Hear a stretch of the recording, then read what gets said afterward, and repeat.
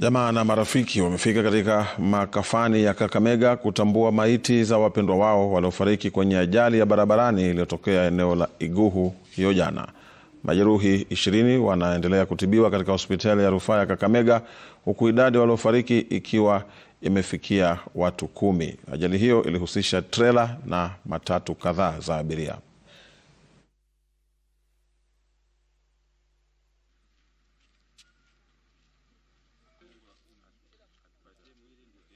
Nikasema hapana, mtoto wangu anafikanga akitoka college, anafikanga nyumbani mapema, na leo ametoka college kitu kama saa tano na mpaka wa saa hii achakuja, na saa ile nilikuwa tu hapo kwa njia saa moja saa mbili.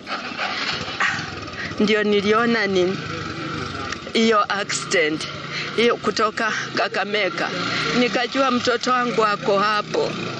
Kwa vile alikuwa ananiambia anateremka anakuja, vile tumeangalia tumuoni, ndio tumejua mtoto wetu amepata accident.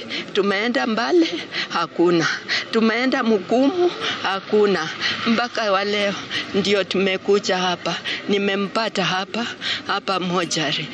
Habari, mimi rafiki yangu ndiye alinipigia simu kwamba gari yenye mzee yako ndani imepata ajali na ameaga. Ilikuwa kitu karibu saa, saa moja ndio nilipata ujumbe, kanibidi nikapanda pikipiki nikakuja mpaka hapo.